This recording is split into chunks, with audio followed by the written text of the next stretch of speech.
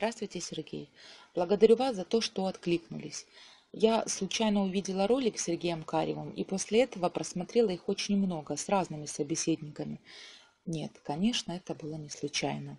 Мне почти 62 года, но прожив такую долгую жизнь, я только несколько месяцев назад не то чтобы проснулась, а скорее начала просыпаться.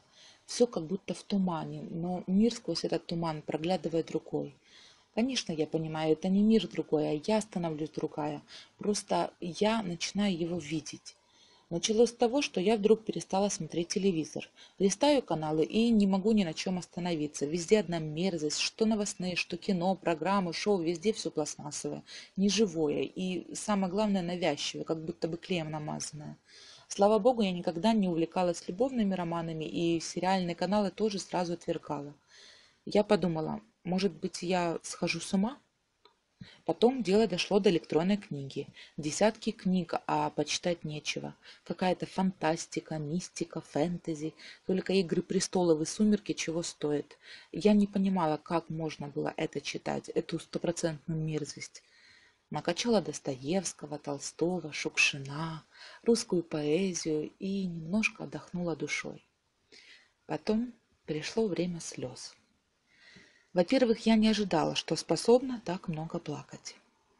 Сначала изо всех сил старалась подавить эмоции. Было даже стыдно перед самой собой. Взрослая баба, не особо чувствительная, и вдруг реву не могу остановиться. Сначала подумала, что эта старость так наваливается. Говорят, старики сентиментальные и плаксивы, но потом эту мысль отбросила. Слезы были невыносимо горькие. От одной мысли про то, что я натворила в своей так называемой жизни, у меня будто душа вырывалась из груди со страшной болью. В голове была только одна мысль. «Господи, прости меня». Но потом, когда я успокаивалась, становилось почему-то легко. Я тогда не думала, что это правильно, не понимала, что это было раскаяние. Я ни о чем тогда не думала. Так была поражена своим состоянием. Я медленно, как будто брела в какой жиже, в болоте, через какое-то сопротивление. Начала смотреть по сторонам и искать объяснения. А потом в Ютубе наткнулась на ролики разного типа. Запоем читала и смотрела все подряд. Можете представить, чего я только не начиталась и не насмотрелась. Всякие религии, течения, безумные теории лезли в голову и стучали в душу. Но каждый раз, радостно думая, что нашла, наступал момент понимания, что не мое, душа не принимает. А вот православие, если попадалась информация, как будто согревала, ложилась на душу. Начала смотреть, слушать проповеди православных священников, рассказы святых и старцах. Смотрела канал «Спас», но недолго. Телевизор смотреть не могу, одно только обилие рекламы вызывает отвращение – Потом прочитала «Не святые святые», и все потихоньку, медленно стало на свое место. Я поняла, вот это мое. А когда начала читать Библию, начала молиться, поняла, что я изменилась. А когда открылась родным, не всем, увидела их недоумение, не совсем приятную реакцию, и оказалось, что мне это практически не важно – Поняла, что возврата назад не будет. Мои родные хорошие люди, добрые, умные, трудолюбивые, не отрицают Бога, даже пару раз в год ходят в церковь. Там куличи посвятить, священной воды набрать, заодно свечки поставить. Я и этого не делала. Но теперь я понимаю, это к вере не имеет отношения. Это мирские дела. А вот мама верующая, пока была здорова, у нее деменция, ходила в церковь, исповедовалась, причащалась и молилась за нас. Может, это ее молитвами все, что произошло со мной, ведь она просила Христа помиловать нас. И еще я начала вспоминать свою жизнь и вдруг обнаружила, что там, кроме страшных грехов, были настоящие чудеса, и я понимаю, что они были от Бога. Христос не раз спасал мою жизнь, только я этого не понимала, не видела, была слепая, глухая и безумная, бродила в темноте. Я пока не имею права сказать, что я верующая православная христианка, ведь я еще не была в церкви, не исповедовалась и не причащалась. Но я точно знаю, что я на этом пути и никогда с него не сверну. Конечно, понимаю, что иду медленно, могу не успеть. Но я молюсь каждый день, чтобы Господь помог мне в этом. А теперь то, зачем я к вам постучалась. Видимо, я не очень умна, чтобы самой разобраться и понять, что делать. А может, это и невозможно, и не каждому дано. Только, может быть, самые лучшие, а я одна из самых худших грешных людей перед Богом. Я очень уважаю и люблю вас, и это действительно так, хотя мы лично не знакомы. Мне близко и понятно почти каждое ваше суждение, ваше отношение к людям и к себе, и, главное, ваша вера и любовь к Богу. Вы вдохновляете людей своей жизнью. Для таких, как я, терпите и трудитесь, даете шанс понять, что такое правильная жизнь. Таких, как я, взрослых собеседников, я видела вас мало. Мне стыдно, что я очнулась так поздно. Но вы добрый человек, и знаю, не будете меня осуждать. Я не понимаю, почему не иду в храм. Я один раз ходила месяца два назад. Там как раз было телевидение, что-то снимали. Зашли почти к алтарю, вокруг толпились люди, человек двадцать. В другом конце зала в одиночестве сидел какой-то батюшка. Я не разбираюсь в чинах. Я хотела к нему подойти, но он был какой-то грустный. Не смотрел на людей, и я не подошла. Потом вошла в так называемый нижний храм, с другой стороны там была лавка. Я купила молитвослов и пошла домой. Конечно, я видела всякие ролики о том, что церковь уже не та, что священники уже не те, всякие пророчества, предупреждения о пасторах и начертаниях, но по большому счету мне было достаточно в самом начале откровения и пророчества святых. Я не знаю, как мне быть. Просто встать и пойти в храм, несмотря ни на что, исповедаться, причаститься и ходить в церковь не к людям, каковыми являются священники, а Господу? Мне нужен ответ. Ваша поддержка или объяснение, почему я не должна туда идти.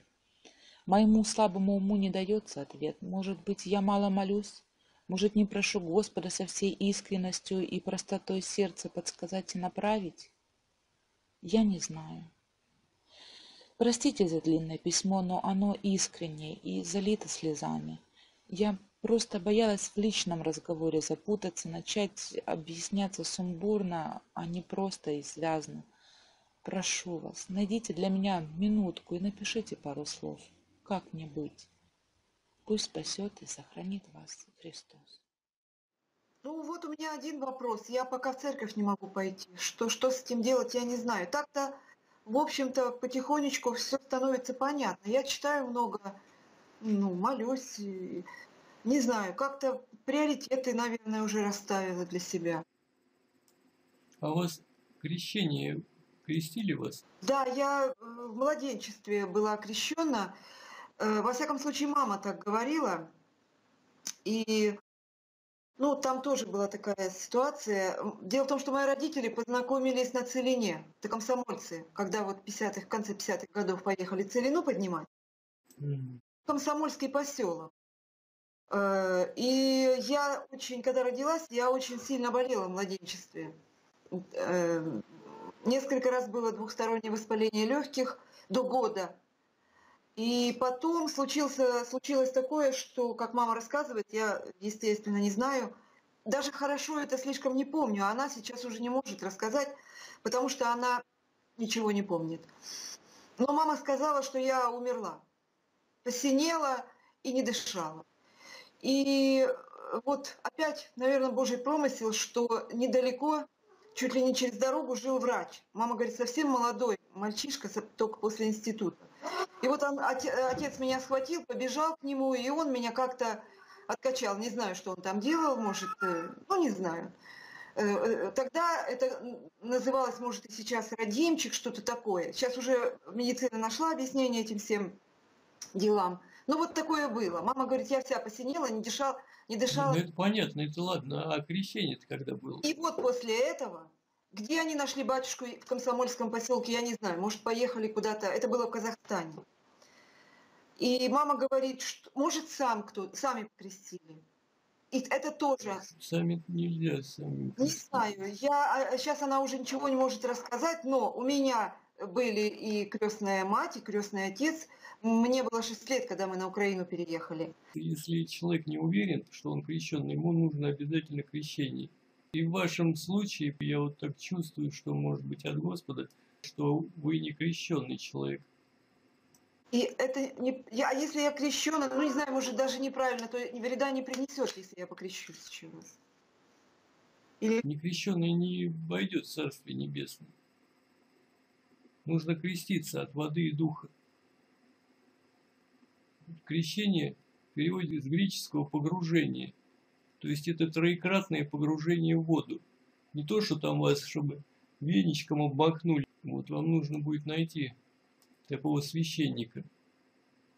Ну, сейчас, я думаю, а вы где живете, в каком городе? Я живу в Тюмени. Начинайте все с крещения. Что нам говорит Евангелие?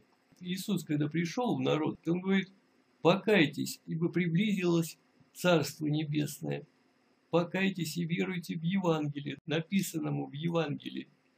Уверуйте, и докрестится из вас каждый для прощения грехов. Понимаете последовательность какая? Если вы имеете веру сейчас, то есть вы уже раз шагнули на первую ступень. Теперь вторая ступень крещения для омытия грехов. То есть вы получаете крещение. Во время крещения а, Господь смывает все грехи с вас, вот, которые были за всю жизнь, с вас они смываются. И вы получаете в дар Святого Духа. Понимаете? То есть сейчас э, у вас такое с Богом произошла встреча, можно так сказать. Вот сегодня с человеком говоришь, а он как бы, ну, Евангелие, да, Евангелие от Бога, все. Понимаете, но это не проникает в него, в сердце это не ложится человеку. Господь говорит, слепые и глухие. Вот человек вроде видит и слышит, а не, не разумеет. Надо твердо понять, что это одна книга в жизни человека, через которую он может спасти свою жизнь и унаследовать Царствие Божие, Божие в вечности с Господом. Все, другого пути нет у нас. Я согласна. Я читаю и не могу начитаться в Евангелии. Постоянно. Читайте, читайте, да, только толкование. Нужно разумение тоже, чтобы читать и понимать, э, что написано там. Конечно, я тут э, сейчас скачала блаженного Феофилакта болгарского. И вот стараюсь каждое, буквально каждое выражение, каждое слово как-то, чтобы все было понятно. Ну, во всяком случае, я стараюсь, и мне это очень нравится. А другого нет у нас пути никакого. Как это может быть не нравится? Это, э, это приятно. Что значит приятно должно стать? Это, то есть мы принимаем это. Это должно, э, как бы, оно всю нашу не то что плоть, весь ум и всю нашу душу должно оно заполнить, вот это знание. То есть все знания, которые мы имели там, я не знаю, за всю жизнь нашу, да, вот все это выбросить, просто отказаться от этого. Господи, я всего отвергаюсь. То есть, у вас, видите, я сам крестился, но мне полным погружением нельзя, да. Меня в младенчестве тоже крестили, как непонятно как. Это же, понимаете, это полное обновление, то есть отказ – во время крещения э, человек говорит такие слова, отречение от мира, отречение от сатаны. Он сегодня крестит, допустим, детей, да. Ну, конечно, это, это в православии нормально и оправданно это все. Это крестить должен, должен только в семье, в такой в полноценной, в полноценных верующих, не просто там каких-то по названию верующих, да, а настоящие верующие. Если же происходит не такое, то оно крещение это не вменяется младенцу, конечно, он вырастает и совершенно неверующим, все это пустое. Вот, поэтому вы получите настоящее крещение, понимаете? Мне даже в голову это не приходило, понимаете? А теперь, какие мои э, родители были? Они, мама сирота, отец тоже там, все, комсомольцы. Ни о какой, о, ни, ни о какой вере тут речь не шла. Видимо, кто-то, бабушка рядом с нами там жила, и вот, может, она подсказала. Пойдите ребенка покрестите, что он у вас вот такой немощный. Вот. Да ну, это, Я не знаю, доверять тоже. Может быть, мама как-то вот, она позабыла, может, что-то как-то неправильно сказала. Да, может быть. Спасибо, благодарю. Я, я просто, мне в голову это не приходило. Хотя я читала крещение, мне даже было сожаление о том, что вот я не могу взрослый покреститься, представляете? У меня было так, не то чтобы сожаление, но как какая-то такая мысль залетная, что ли. А оказывается, Вот по поводу того, что сейчас православие не такое, там священники не такие. Конечно, все очень невесело происходит сейчас. Надо Господа молить, вот, чтобы Господь показал людей верующих. Понимаете, все упирается в веру. Сегодня очень много вот таких священников, которые, ну, они сами неверующие, и паству такую же собирают, и как бы воспитывают вот такой вере, можно сказать, холостой. Она, она ни к чему не приведет. Вот, они и ходят как на работу, вот, ездят по, по там, требам по каким-то, кого-то крестят, знаете, кого-то соборуют от болезней, от всяких, а все это пустое, Господь там не действует. Поэтому, если помолитесь, Господь укажет. В первую очередь, Он таким должен быть нестяжательным до отношений к миру у него. Во-первых, борода у него должна быть не стриженная, сразу на это обращайте внимание. Как крестится священник, смотрите. То есть кре- крестное знамение должен накладывать на лоб, на живот, на правое и на левое плечо. То есть а, больше 99% священников, они абы как крестятся. То есть накладывают на себя там непонятные, непонятными движениями. Во время беседы вы услышите, о чем, на что больше давит он в разговоре. То есть, если священник верующий, любящий Господа, он будет больше говорить о Христе, о спасении. Ну, Господь через сердце подскажет. ну что ж, ну вот вопросов практически и нет. Это был главный вопрос о церкви. А получается, нужно креститься. Я, я говорю, мне в голову не приходило. Я это очень рада это узнать. Да, Господь так открывает. Да я и сам не знал. Благодарите за это Господа. Я, конечно, молюсь. И надо сказать, что вот со мной недавно было, ну, я не знаю, это чудо, не чудо, может, какое-то совпадение, но что-то я последнее время слово совпадение мне вообще не нравится. Рассказать есть у вас, вот, как бы, послушать? Конечно. Ну, да, ну, конечно. Тут э, у нас вообще Тюмень очень хороший город, очень благополучный. Я переехала сюда из Нефтеюганска, когда вышла на пенсию. Вот. И это называют город пенсионеров. Здесь очень хорошо заботятся. Не говоря уже о том, что э, везде, во всяких и, и- и скидки везде, и во всех э, магазинах, и та же филармония, театры, везде пенсионеры как бы идут чуть ли не 50-процентные. Ну и самое главное, это медицина, конечно. Ежегодно э, звонят домой и предлагают пройти диспансеризацию. Ну и вот к чему пришло. Как бы я назначили мне мамолога. Я пошла, сделала рентген, и там оказалось что-то какое-то сложное. Они там написали, что-то как- какие-то пок- фиброзно-кистозные какие-то образования. Короче, идите на УЗИ. И мне, конечно, было... Я не могу сказать, что я прям боюсь как-то, но все равно было очень неприятно, не хотелось, наверное. Наверное, еще не совсем пришла к тому, что человек посылает, Господь посылает человеку и болезни, и это все испытания, это все благо. И тем не менее, я когда пошла на УЗИ, легла и сразу начала молиться. Я даже не знаю почему. Вот Иисусову молитву. И, и молюсь, молюсь, молюсь, потом глаза закрыла. А этот парень, который смотрел, он что-то слышу, он да, ничего не могу понять. И так, повернул меня со всех сторон. Потом говорит, я ничего не могу понять. Ничего нет. Все чисто. Где они там что нашли? Я сама так как-то удивилась, говорю, точно? Он говорит, точно, я перепроверил. Ничего нет. Все абсолютно чисто. Ну вот что это? Чудо. А я молилась, вы не представляете, как искренне я молилась. Ну, Господь, Он милостив ко всей твари. Он же милостивый. Да. Даже ко мне. Я получила то, что я хотела. Я смотрю ваши ролики, дай вам Бог здоровья. Ну, здоровье, конечно, слово.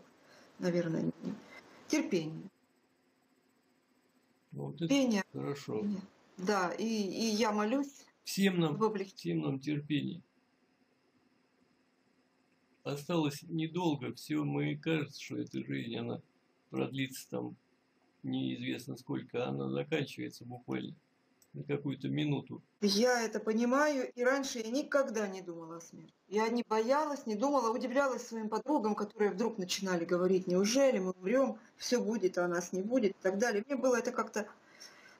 ну, Я была вообще дубина, короче. Называется бестолочь человек, это без толку. Живет, просто живет. Я ведь и, и- и все хорошие. Я сама неплохая, никогда не была злая, никогда не была какая-то там стерва. Работала. Ну, вот, вот какое-то существо такое непонятное.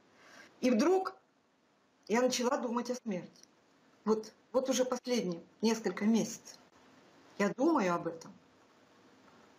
Потому что я понимаю, что я не умру. Как не думать об этом, если это Ну, вот человек, люди любят думать о рождении, да, о рождении новых э, людей, о рождении детей, да. Да. Вот уже девочка там, она с самого там с трех лет, у меня будут дети там, вот я такая-то, вот у меня, а о смерти человек не думает. Но это, по крайней мере, это и сегодня такое. Раньше-то люди из детства понимали, они имели страх Божий, воспитывались в этом. Людей воспитывали в том, в том, в том, что они умрут лю- люди как-то э, к похоронам были спокойны, да. У меня даже вот фотографии есть, хоронят там бабушку мою, а мне сколько там, с сестрой нам по 4 года только исполнилось. Мы у гроба стоим рядом с ней спокойно. А сейчас что творится-то? Детей прячут, не берут на похороны, не показывают, всячески скрывают, что... Конечно, человек по- потом входит, когда возраст такого понимающего, да, он сам начинает остерегаться, прятаться от этого понимания о смерти. Он боится просто этого. Потому что прививают с самого детства, можно сказать, страха Божия. О страхе Божьем вообще понятия нет. вот именно. Что, что есть Господь и что слушать надо Господа в первую очередь в этом мире. Кто об этом говорит? Что человек это не мясо, а человек это душа и дух, которые внутри живут. Все, главное, это понимают, да, вот отвергают сегодня Бога, мы неверующие, мы там атеисты, а все же чувствуют вот эти энергии внутри себя, да, переживания, любовь, все это. Что это? Относят это вот именно к каким-то гормональным связям, да? То есть химические процессы происходят в организме. Ну, и все равно, хотя душа слова на языке у всех, не, не придают этому, не то что не вкладывают в это смысл правильно. Там бывает, душа болит или что-то такое проскакивает в разговорах. Как-то мне Ну да. мороз. Христианин находит общение, любую тему к Христу подводит, да? Подожди, а давай пос- посмотрим, подумаем, что это у тебя такое происходит с тобой, да? Давай-ка разберемся. Вот, и можно сказать такую проповедь очень хорошую человек, через которую человек может и обратиться даже к Богу. Что это у тебя такое болит? Но, ни нос у тебя, ни ухо, ни нога, ни рука у тебя э, не болят, а что это болит? Да, я вот, вот как раз меня это коснулось. У меня все мои знакомые, мы, дело в том, что жили в Юганске, была вот одна такая компания, и, ну, компания, не знаю, ну, подруги, короче. Дружили, все люди хорошие, правда хорошие, добрые, умные, хорошие люди. Но в храм только вот по- э, куличи посвятить. А я даже и не ходила. Меня спрашивают, Наташ, пойдешь там? Я говорю, нет, не пойду. Да ладно, идите сами, принесете мне яичко. Вот на, на этом уровне. Но сейчас, последнее время, они вот ведь от меня стали шарахаться. Хотя я не могу сказать, что я там проповедую, нет, конечно. Но все перевожу, вот любое, оно же все переводится по жизни.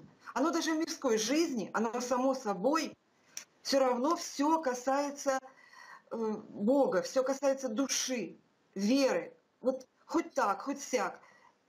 И они прям, ну, вижу, они прям от, от меня шарахаются. Но мне их больше жалко, чем я сожалею о, так, о том, что ко мне как-то иначе на самом деле. Потому что я понимаю, что, что они спят, а может и вообще. Я-то проснулась. Да не спят, это Бог называет мертвецами таких людей, это мертвые люди. Понимаете, есть две смерти. Есть смерть по плоти, а есть смерть духовная. То есть, если они сейчас душой, духом не живут, они претерпят после суда и вторую смерть, когда их душа будет брошена в озеро огненное. Вот, и это не смерть, которая, допустим, а, которой мы привыкли, да, вот умер, он лежит синий, окоченевший, недвижимый. А это духовная смерть, когда человек будет мучиться от того познания, что он потерял в этой жизни, и что этого больше ему невозможно никак приобрести и достичь. У Данте в комедии в его на вратах ада написано «Оставь надежду всяк сюда входящий». входящий да. Мы же живем, люди, на этой земле, да, и все у нас какие-то, до последнего у нас какие-то надежды, даже самые как бы просто и человек говорит, да ты что, что ты не видишь, не видишь, во что ты веришь, ты этого невозможно. Да нет, я все равно верю. А это же места, в которых совсем нет вот этого, никакой надежды, сплошное отчаяние и все. Я не знаю, я за всю жизнь, слава Господу, не испытывал вот этого чувства отчаяния. Но я видел людей, которые отчаиваются. Это же он синий человек становится, у него тусклые глаза, глаза совершенно не горят, и сам он вот как действительно как мертвец. У меня такое было, у меня было 23 года, когда погиб мой муж. Мы только полтора года прожили. Ребенку было пять месяцев. Я, у меня было это. Не знаю, как это объяснить. Когда мне пришли и сказали, он разбился в автомобильной катастрофе, когда мне пришли и сказали, Понимаете, у меня было зримо, зримое ощущение, физическое ощущение, что открылась бездна, и я в нее лечу. Я это и сейчас помню. Я влетела в черноту, в пустоту. я не знаю, э, вот, вот, вот, откры... и эта бездна открылась во мне. Я каким-то сторонним э, э, зрением смотрела и думала, как это могло все во мне поместиться. Вот такой был, такое было, что ли, не знаю, горе, отчаяние, наверное. Но, наверное, Бог вытащил меня оттуда. Я даже... Это и есть, и Господь открывает при жизни и уже показывает, допускает вот такое отчаяние, чтобы человек хоть немного задумался, да. что он будет в вечности испытывать. Меня ведь Господь, ну вам сейчас расскажу один случай еще. Я после школы, когда не поступила в институт, а это было советское время, вы, наверное, еще были маленьким, вы не помните, но тогда было немыслимо состояние, когда ты не работаешь или не учишься. Вот это было просто невозможно. Мы жили на Украине, в Николаевской области. И я сразу пошла, естественно, работать. Пошла в райком комсомола, попросила, значит, куда пошлют. И от 15 километров э, от Снегиревки, э, это городок, где я жила, там э, было село. Село очень глухое, забитое, даже, даже автобус не ходил. Там была одна машина, она утром увозила рабочих э, значит, в город или там на фабрику рядом, и вечером привозила назад. Все. И школа была, в котором были сборные классы. То есть, то есть э, в одном классе могли быть первоклашки, там, ну, по два, по три человека. Маленькое село. Я там была пионерской вожатой. И мне школа выделила квартиру, я жила у дедушки с бабушкой, но я почти каждый день ходила домой. А это 15 километров, до трассы 11 километров, туда-обратно. И я была жутко стеснительная. Я, в общем-то, и сейчас не особо такая наглая, но тем не менее, я была такая стеснительная, что когда я выходила на остановку, чтобы поймать машину. Автобусов-то не было. Я стояла по часу и не могла руки поднять. Вот э, если остановится кто-нибудь там, куда тебе ехать? Смотрит, вот стоит такая дубина. Туда-то и туда-то. Давай по, до поворота подвезу. И вот под, подбрасывали меня до поворота, а дальше шла дорога 11 километров вдоль лесополосы. А там э, э, в Николаевской Херсонской области, это же степь, раньше голодная степь, там насаживали такие широкие, широченные лесополосы. К тому времени это были уже такие хорошо разросшиеся. И мне в селе говорили, ты не ходи там, там, э, в общем, убийства какие-то. Это в советское время эти слухи были просто невероятные. Я-то и особо и не поверила. Там, говорят, молодых женщин убивают. Но я это все отбросила. И вот одна. А, самое главное. У бабушки с дедушкой меня поселили в большой комнате, в зале, так сказать. И там стояла этажерка. И на этой этажерке стояли какие-то книги. И я вот первую, первую попавшуюся книжку взяла, такую крошечную, такая маленькая, ну буквально вот карманная. Это оказалось Евангелие. Причем на, вот на старорусском таком языке я, ух ты, такой был интерес какой-то веселый. Я стала эту книжку листать, ничего не понимаю. Ч- пытаюсь читать, оно не читается. И набрела на обведенное карандашом место. И Э, значит, там вначале, естественно, прочитала, как-то поняла, что э, ученики спросили, как молиться, и Иисус говорит, «Отче наш». Это было «Отче наш». я человек, который хорошо учился в школе. Наизусть я могла на переменке выучить стихотворение в два листа и рассказать на пятерку. У меня хорошая была память. Я решила так, сама перед собой на выхвалку вроде бы, но на самом деле сейчас я понимаю, что было не так. Это был промысел Божий. Вот, а дай-ка я его выучу. Я его учила, эту крошечные четыре строки, я учила их неделю. Я не могла, я, я сама себя, да как так? Да набор букв каких-то, да что я не выучу? В конце концов, я это выучила. Ну и такая довольная, что я это выучила, поставила эту книжку обратно. И время от времени, по ходу того, что вот шло, шло это время, когда я работала там в школе, я так иногда проверяла себя, прочитала ее в уме. И вот, однажды, это было летом, наверное, может, в начале августа, в школе в это время уже начинается работа, и была уборка.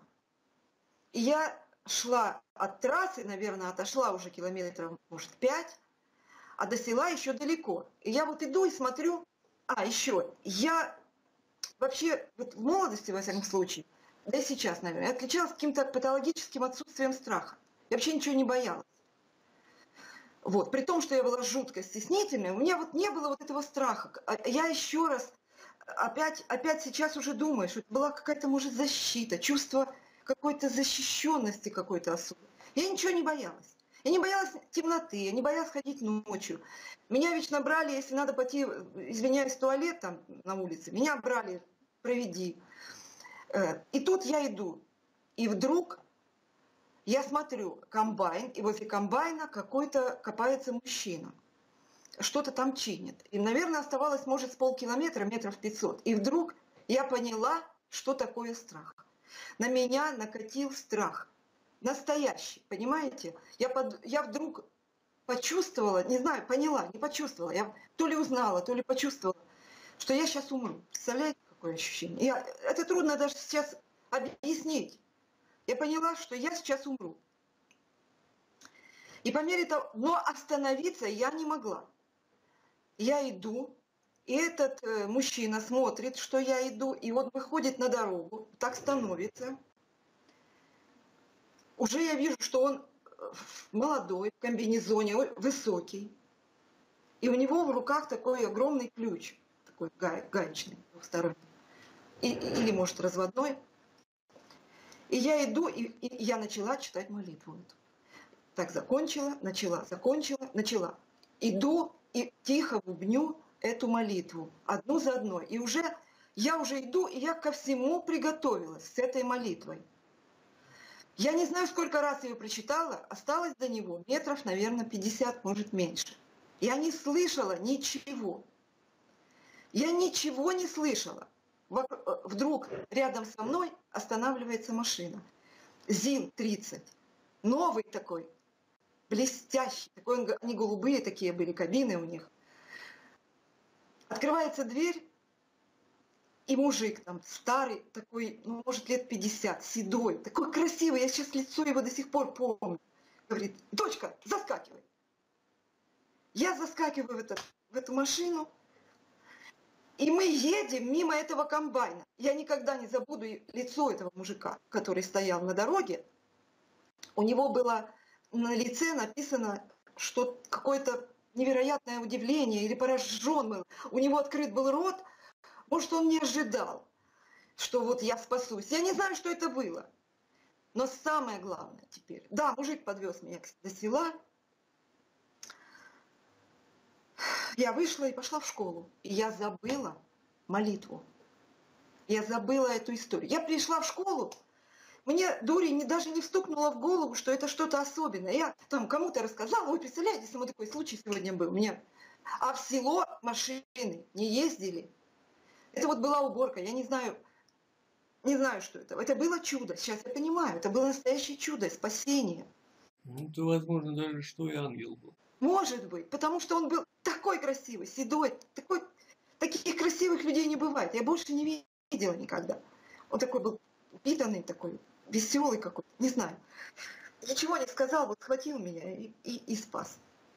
И после этого я забыла молитву. Уже в 80-х годах, уже когда погиб муж, когда вот хлынуло вот, э, вот эти вот э, все псевдо вот эти всякие э, теории э, об абсолюте, э, о космосе, о, и религиозные, конечно, к нам хлынули э, баптисты в, город.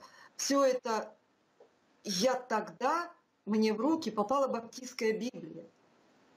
Я там увидела... Баптистских Библий не бывает. Это ну, там было не, синодальный... не баптистская, там было написано какое-то общество баптистов каких-то на, на, на, на начальных страничках, да, правильно. И я когда стала ее читать, ну так, я не могу сказать, что я ее читала. Я опять открыла и увидела «Отче наш». И я вспомнила. И больше у меня не было проблем. Я вспомнила в одно мгновение, у меня все сложилось в голове, я уже больше никогда не забывала. Но верующие, конечно же, не стала. Это было давно, мне было, может, лет, не знаю, 28-30, вот так вот. Ну и так дальше. И в моей жизни было и в детстве, и в моей жизни много было таких вот, не то что много, нет, немного. Но я их все забывала. И я вспомнила все это сейчас, когда со мной произошло... Ведь предпосылок не было никаких. Знаете, люди заболевают, с людьми случается в семье что-то страшное. У меня ничего не было. У меня наступил день,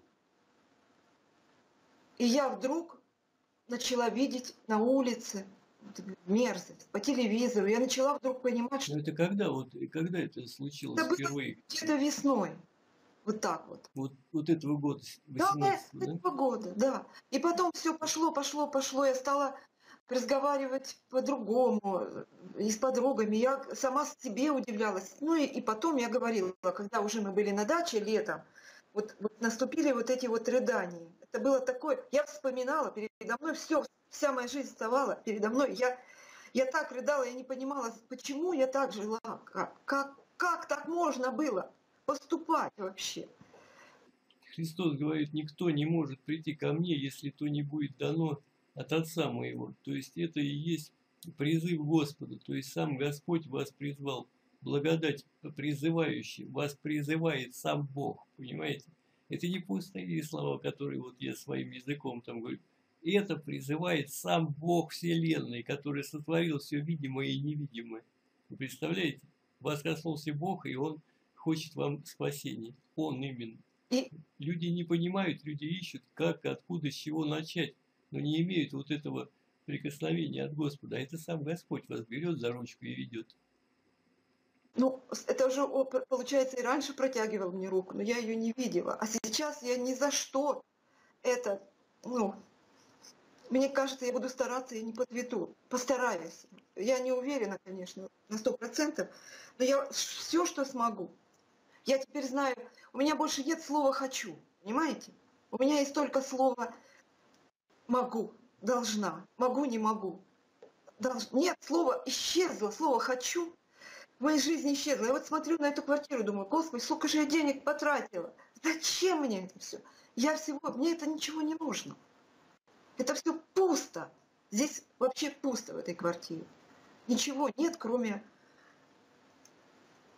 кроме Библии. Понимаете, когда Чего? Господь решал идти на спасение людей, то есть он не говорил себе там, я не могу, я постараюсь. Он знал, что он пойдет и сделает это, что он претерпит вот такие скорби, мучения. Он знал об этом. И христианин должен знать, если меня призывает Господь, я должен исполнить Да. все, что Он мне говорит. Я должен, я не могу быть теплохладным. Я буду делать все, что мне говорит Бог. Вот именно вы Другого варианта нет. Вот это, это, это то, что я чувствую. Вот Ваши слова – это то, что я чувствую в полной мере. И я знаю, что я уже не отступлю. Конечно, ну, ну, опять-таки, какая-то... э, ну, Даже неуверенности, в общем, нет. Есть уверенность. У меня один был вопрос про церковь. Почему я не иду в церковь? Так много времени с весны прошло, и я как-то думаю, может быть, я какая-то рохля, может, что-то что со мной не так. Почему я туда не иду?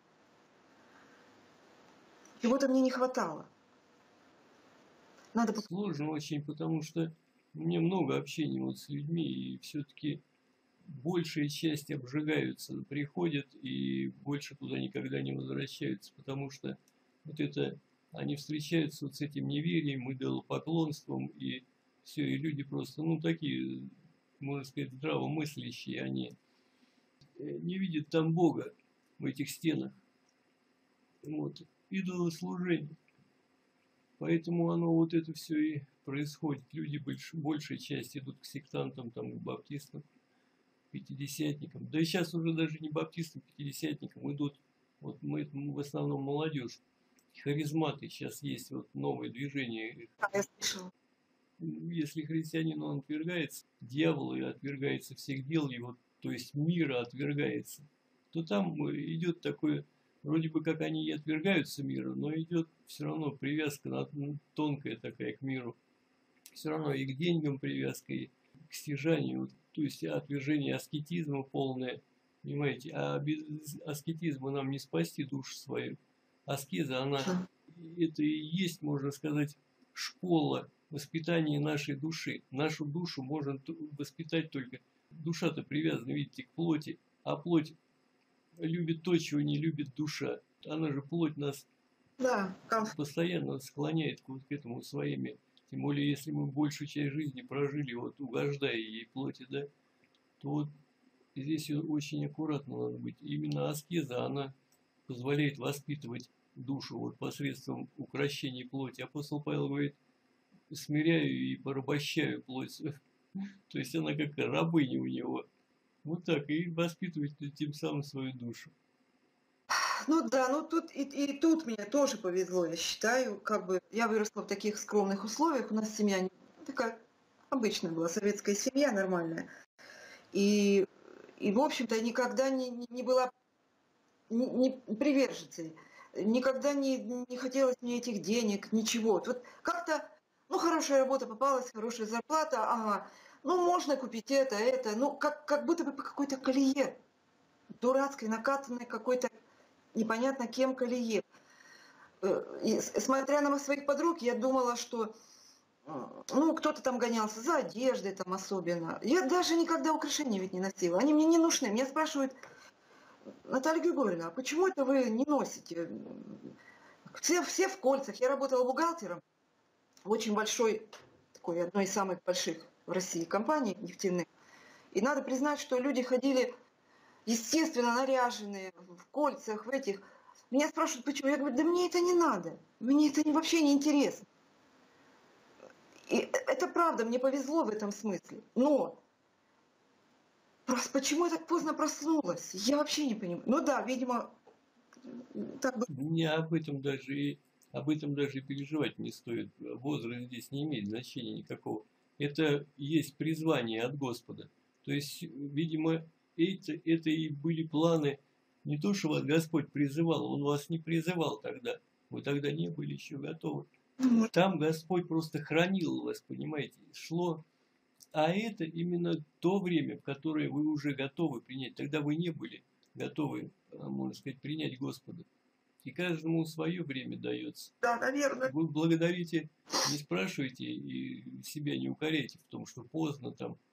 Только благодарение и все. Господи, благодарю Тебя, что Ты нашел меня. Все, больше не, незачем. Вот эти вот рассуждения это от лукавого идут, вот когда человек поздно там начинает стенать. Это опять же хула на Духа Святого. Может быть, я об этом не подумала. И может быть, так, наверное, и есть. Я не подумала даже об этом. Я себя Дух Святой, Дух Святой знает, когда ему прийти.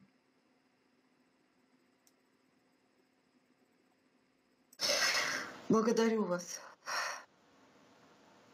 В общем, я... Вы сейчас очень... Не очень часто, да, получается, записываете видео.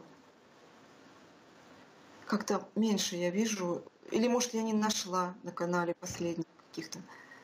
Но я смотрю... Я не, я не часто, да и не все выкладываю. Выкладываю только то, что полезно будет для Да, спасения. А так, если человек звонит там вот с какими-то ну, по семейные там какие-то проблемы, ну, женщины в основном вот с этими, конечно, это выкладывать там женщины, ну, все семьи, понимаете, что сейчас, сейчас больше 90% разводов, и у всех вот эта вот беда, она идет. да. Блуд же, блуд, блуд покарал, весь, весь мир одолел. То есть люди всех на колени поставил, и мужчин, и женщин. Это сатана вот так, вот, вот этим блудом он сплел весь мир в одну паутину такую, как паук запутал все. То есть все друг с другом, понимаете?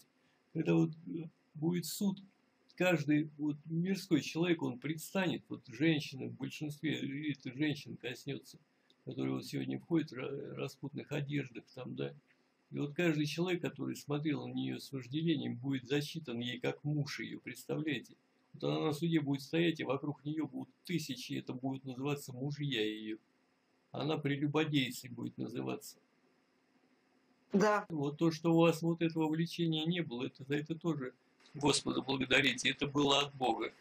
Я имею в виду к украшениям, ко всему, к одеждам, вот к этому. нет, не было. И последнее время я, ну так-то, в общем-то, не красавица. И, и, в общем, э, на работу, когда идешь, что-то... Я, конечно, не красилась так, как многие, ну там где-то что-то, где-то там реснички, может, губы.